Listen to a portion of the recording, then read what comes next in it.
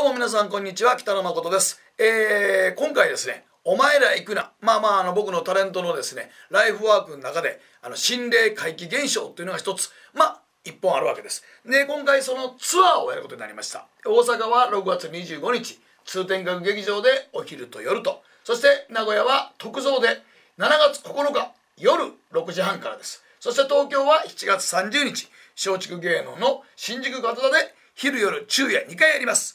あのー僕のイベントを今まで、あのー見られた方は分かると思います。ご存知だと思いますけども僕の、えーこの階段のこの「お前ら行くな」ツアーはただ単に怖いだけでなく怖面白い。そして面白くって怖い。これがまあ一応基本の軸となっております。しかもなんとトークライブ中に必ずと言っていいほど不可思議な現象を目の当たりにすることができます。だから今まであの心霊体験ないねん怖い体験したことないねん。でも一人で怖い体験するの嫌やなとか思ってる人は、えーこちらで皆さんと一緒に同じような会場で同じような雰囲気でちょっと不可思議な心霊体験をしてみてはいかがでしょうか、えー今北野誠お前ら行くな2011年ツアーチケット絶賛発売中です。この機会にぜひ心霊体験を経験してみましょう。どうぞ。